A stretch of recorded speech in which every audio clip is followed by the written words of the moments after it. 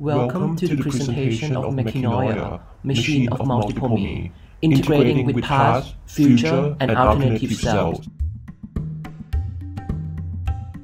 This is the work done by Pat Pataranutaporn Valdemar Danry and Professor Pattie Maes at the MIT Media Lab. The relationship between our body and mind is an old, yet still incredibly puzzling phenomenon. Recent research has shown that not only can one mind adjust and inhabit multiple bodies, but one body can also be shared between multiple minds, the phenomenon referred to as polycephaly. The concept of polycephaly occurs in the cultural, biological, and technological realms throughout human history. For example, Hindu demon king Ravan has 10 heads that each contain specific branch of knowledge said to make him one of the best scholar and strategists.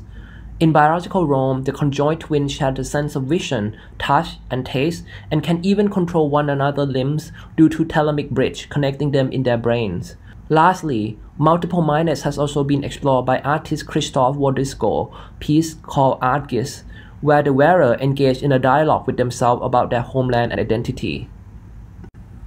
This kind of cognitive externalization is not just something mythical, but an actual scientifically studied phenomenon, also known as cognitive offloading, meaning cognitive tasks are externalized to reduce mental load. The notion of task distribution between multiple humans and computers agents is further supported by Thomas Malone's concept of supermind.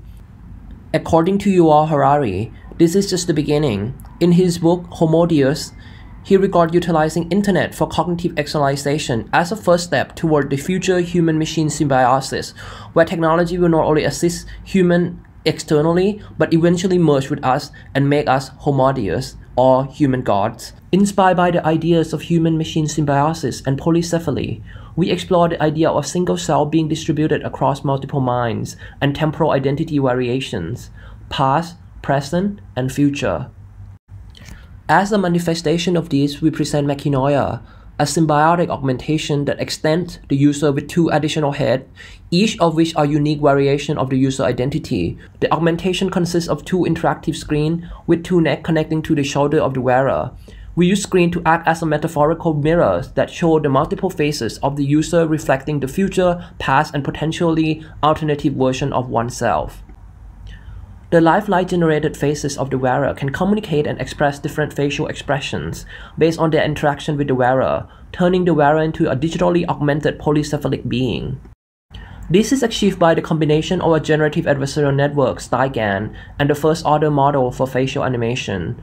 We develop a method to construct a computational model of the wearer attitude on different topics using longitudinal social media information obtained with the consent of the wearer. In our implementation, we extract 10 years of one of the author of this paper's social media data from 2010 to 2020. These contain over 6,000 posts. We measure the change of the sentiment on different topics at different age of the wearer to estimate the values of an older version and the younger version of the wearer. The trajectory of the sentimental change are then fitted to a graph which allow us to extrapolate and speculate about the person's attitude in the future or past by using a time series predictive model. The resulting speculative attitude model is then used to trigger different response upon usage when the wearer talks to his or her artificial persona. For example, this is the response when you ask, what would your future, present, and past think about technology? Or school? Or research. In conclusion, Machinoia demonstrates a new type of venture into the concept of human-machine symbiosis, namely integrated polycephalic multiple mind system. Through this temporal merging, Machinoia help us discover knowledge internal to ourselves, give us insight into changes of our different personality traits, and enhancing our overall capability for introspection. Machinoia aimed to raise awareness of the gradual adoption of technology as an integrated part of ourselves, encouraging discussion of its positive and negative potential impact on what it means to be human. Thank you so much.